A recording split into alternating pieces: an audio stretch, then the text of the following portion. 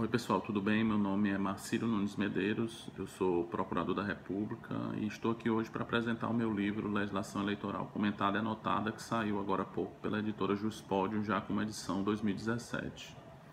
O livro ah, inclui comentários e anotações jurisprudenciais aos principais diplomas normativos que tratam do direito eleitoral, que são a Constituição Federal, na parte específica que aborda o direito eleitoral, a Lei Complementar 64 de 1990, que estabelece causas de inelegibilidade e trata das ações de impugnação, registro de candidatura e investigação judicial eleitoral.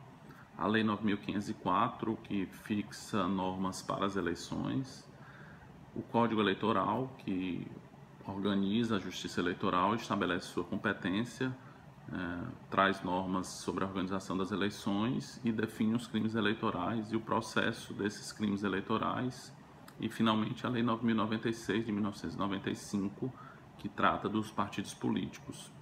A obra já está atualizada com as mais recentes alterações legislativas e a estrutura do livro é a seguinte: ah, inicialmente é exposto o artigo de lei.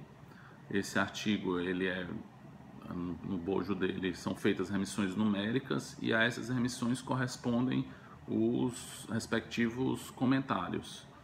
É, os comentários buscam exaurir a matéria que está, que está sendo exposta. Ah, abaixo dos comentários, quando for o caso, é feita referência às resoluções do TSE específicas para as eleições de 2016. Essa parte é muito importante para quem trabalha no cotidiano com o direito eleitoral, haja vista a importância das resoluções do TSE dentro desse cenário. E logo abaixo é feita a disposição da jurisprudência aplicável àquele artigo de lei sob comentário. É, a jurisprudência é essencialmente, majoritariamente, aquela do TSE, mas no caso de escassez de decisões do TSE, também é, é mostrada a jurisprudência de alguns tribunais regionais eleitorais.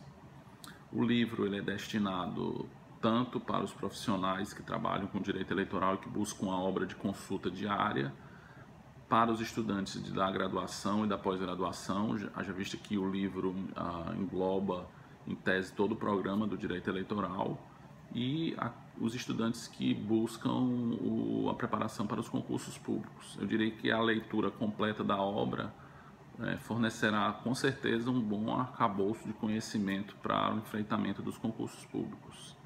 É isso aí, boa sorte para aqueles que buscam o, a sua vaga no cargo público.